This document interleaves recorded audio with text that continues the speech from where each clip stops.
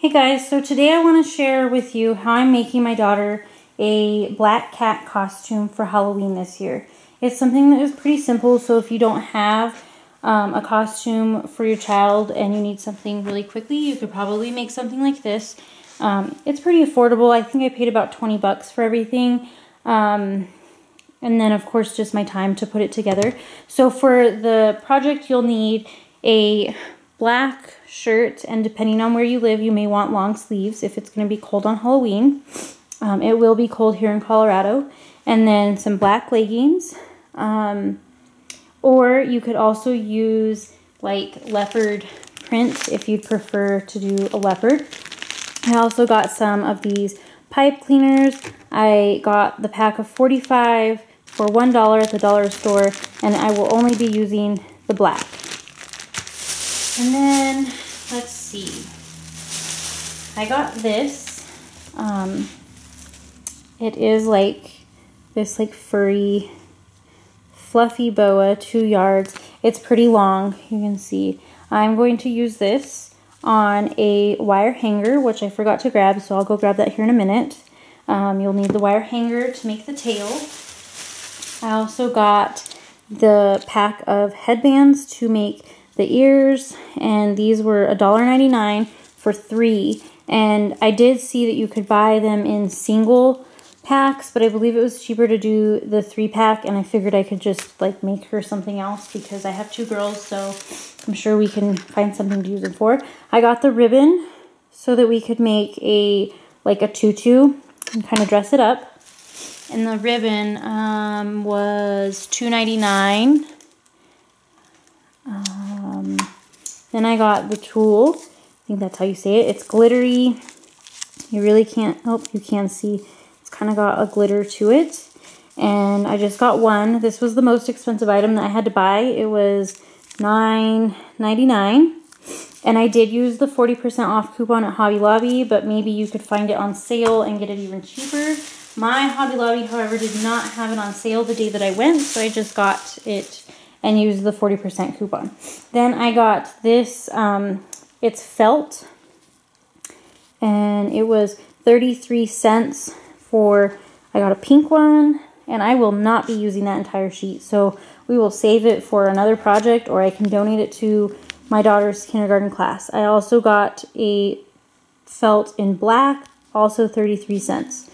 So those are the supplies you will need and here in a moment I will show you what to do with each thing and how to create the end result of a cat costume. And the only other thing that you would probably need if you allow is makeup to make a cat face on your child. And of course that can be as extreme looking or as simple as you would prefer like for your daughter or son to have on Halloween. My daughter will be in a full-on cat face painted makeup that she can have because that is the only time we allow her to wear makeup and I will post a photo of her at the end um, so that you can see how we did it.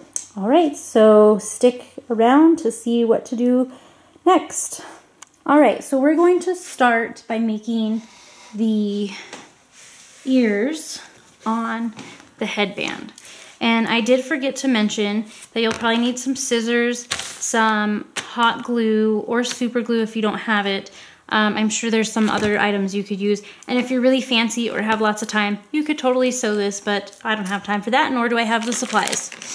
So the first thing that we will be doing is taking a piece of pipe cleaner and you just need to wrap it around So I'm to wrap it a few times so that it stays. And then just make a cat ear. Make it as big or wide or thin, tall, however you would prefer to have this. So I'm just going to start by doing it like this and I can adjust it if I need to. I'm using two.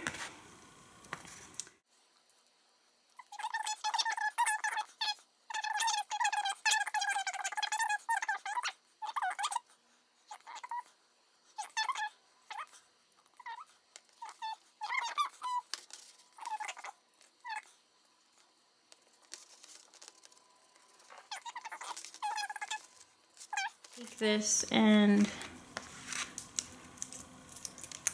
cut out about the width that I need to go across.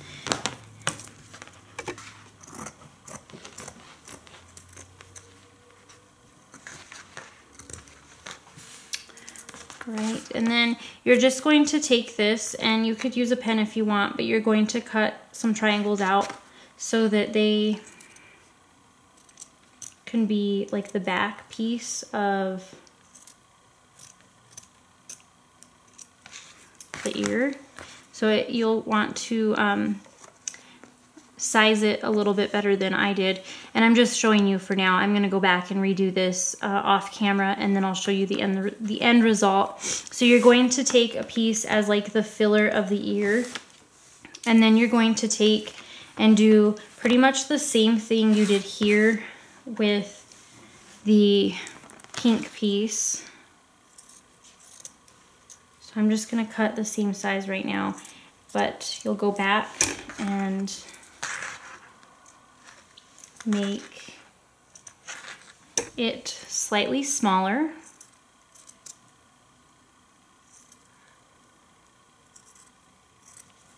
Okay, so you're gonna take that and then you're gonna glue the pink piece to the inside of the black piece and then you're going to have it like this and You'll glue it onto there. You'll do it for both sides and that will be the cat headband for the cat ears. I'm gonna go ahead and make mine and then I'll come back on and show you how it looks and then we will get started on the tail. Okay, so I'm back to show you the next step. Um, this is how her cat ears came out. Now, I did have issues with the hot glue. As you can see, it kind of got messy here. But I'm not too worried about it because at night, you're really not going to be able to see it. So it's not a huge deal. Um, I hot glued the pink onto the black felt and then I hot glued the black onto like this piece and like the pipe cleaner. So there are her cat ears. Now we're going to work on the tutu part. So what I did was I took the um, ribbon and I wrapped it around my daughter's waist and of course, this is going to be different for each child because they're different sizes. Um, so this will go all the way from front to back.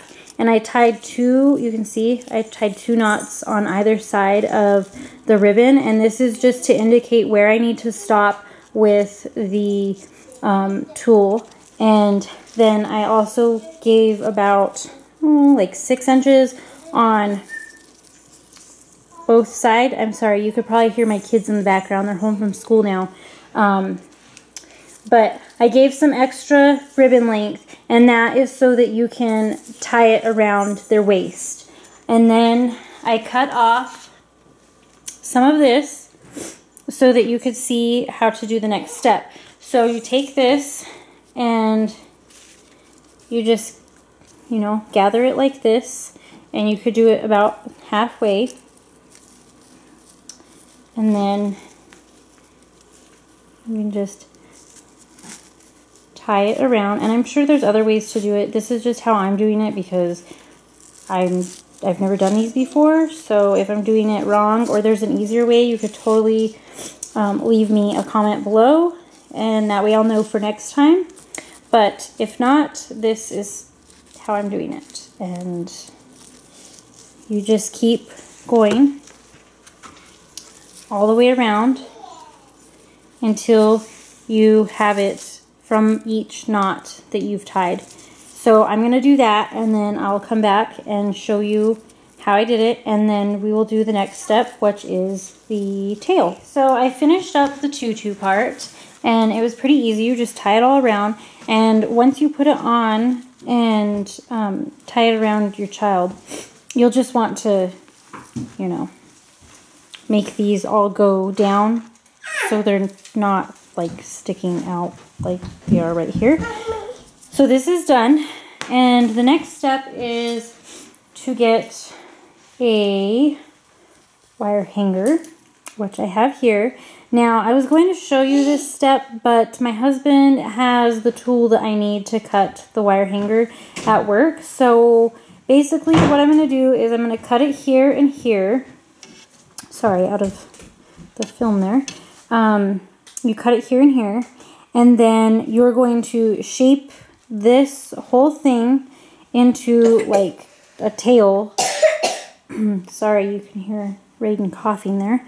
Um, so you're going to do it like, you know, like an S shape, I guess. Um, and then you're going to take this fur and I'm planning on, because once you cut it, you're going to have a pointed edge and you really don't want that to become an issue with um, children, you know, like harming them or poking them.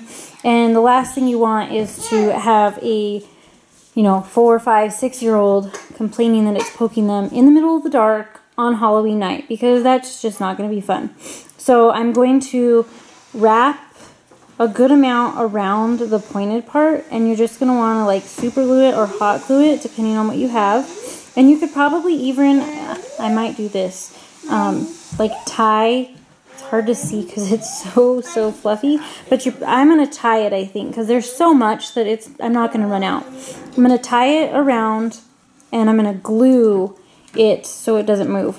And then you just keep wrapping it around your hanger and then you can um, shape it a little bit better when it's done um, and attached. And then once you finish the hanger part, you will tie this piece around your child and you'll tie it in the back and then you can take a little bit that's left of this and tie it to this. At least that's how I'm going to try to do it and hopefully it works out well. Um, I don't think it will be an issue. Of course, it might be where I have to change it. Luckily, I'm doing this with enough time that I can modify it if I need to. Um, and then if you don't have a wire hanger, you could probably just get away with attaching um, just a little bit of this to um, the the back end of the tutu and you'll just have a tail that is more, um, you know, not so structured, whereas I'm going to have a tail that like kind of almost looks like it's moving. Um, so that's pretty much what you do for this. It's really easy. So this is Raedyn, and she has her costume on now. This, as you can see, is with her cat ears on. She doesn't have any face paint at the moment. We'll do that next. She's wearing all black.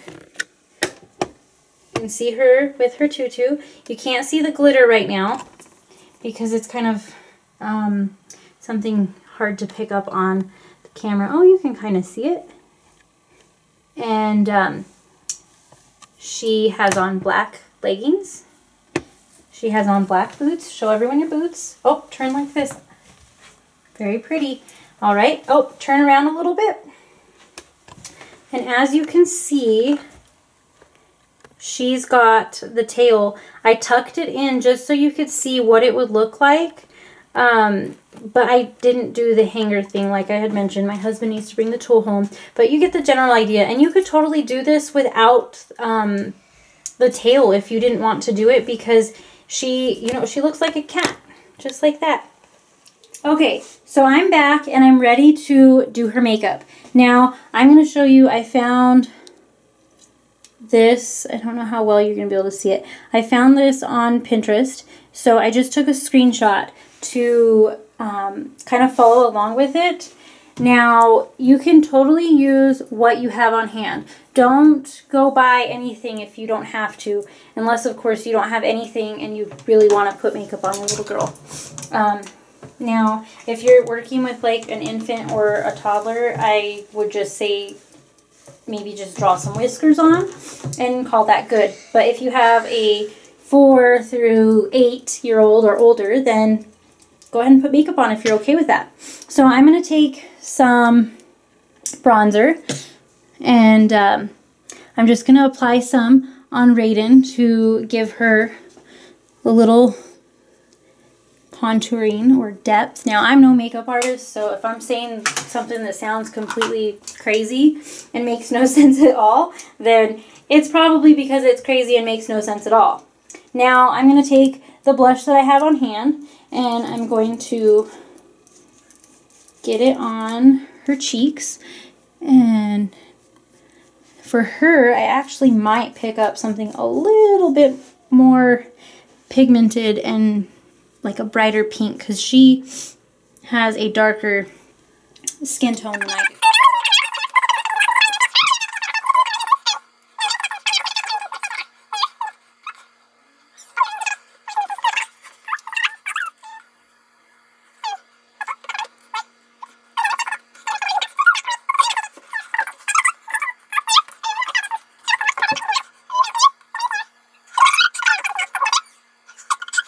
Her lip area.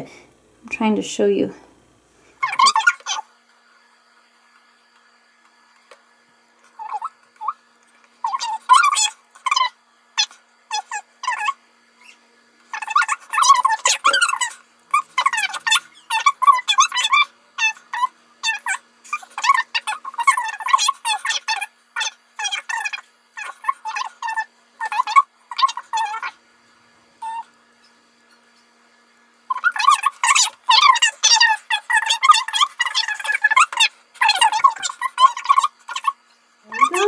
Have a little kitty. Now, um, like I said, once I do this on Halloween, it'll probably look a lot better because I'll be able to really get in there with the makeup and be right in front of her. Um, but you get the idea. And you can look on Pinterest to find other cute makeup tutorials um, for the same look. Um, but let us know what you think. Leave us a comment and let us know if you're going to try this costume out for your child or if you're making something else for your son or daughter. I'd love to know because DIY projects are really fun.